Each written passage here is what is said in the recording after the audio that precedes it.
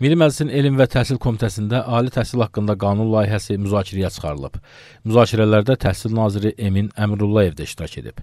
Nazir deputatlar qarşısında çıxışında deyib ki, Azərbaycan təhsilin qarşısında duran vacib çağırışları həll etmək baxımından ali təhsil haqqında qanun layihəsi mühüm əhəmiyyət kəsb edir. Emin Əmrullayev bildirib ki, ali təhsilin əlçatanlığı, bərabər imkanların əldə edilməsi diqqətli olan məsələdir.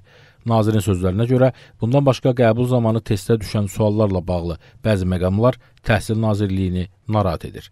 Milli Məclisin Elm və Təhsil Komitəsinin sədri, Ali təhsil haqqında qanun layihəsinin hazırlanması üzrə işçi qrupun rəhbəri Bəxtiyar Əliyev isə deyib ki, təhsilin keyfiyyətinin təmin olunması çox mühüm məsələdir. Stat: Təhsilimizin qədim ənənələri var, amma yeniliklərin tətbiq olunması mütləqdir.